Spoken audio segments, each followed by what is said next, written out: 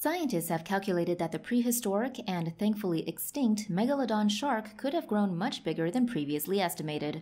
According to a study led by paleobiologist Kenshu Shimada of DePaul University in Chicago, some megalodon sharks could have grown to as long as 15 meters. That's 50 feet, or twice the length of a double decker bus. At this length, the ocean monster would have weighed close to 100 tons. Previous estimates of the megalodon's length put it at about 33 feet, or 10 meters, based on fossilized teeth, but this new study says that estimate was too low. Shimada's research team said the new estimate of up to 15 meters was made after a more accurate equation was applied based on the size sharks can grow to today if they develop in favorable water temperatures. The findings of the DePaul University research team have been published in the journal Historical Biology.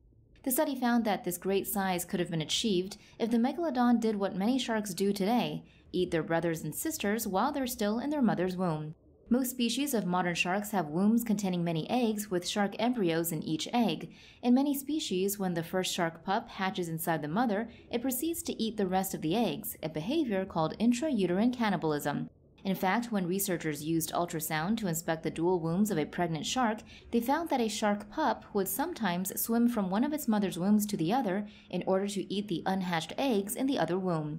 Shimada says the megalodon could reach a massive size of up to 15 meters thanks to adaptations like live births, early hatching, and cannibalistic feeding on other eggs in the womb. Over 3.6 million years ago, this combination of adaptations would have allowed a giant predator to grow to unparalleled sizes in comparison to other shark species. By eating their siblings, this megalodon would have grown much larger while still in the womb. Coming out larger would have given them a greater chance of surviving and a larger adult body size. If they developed in favorable water temperatures, these factors would have combined to allow them to grow to the gigantic lengths the team claim they could reach.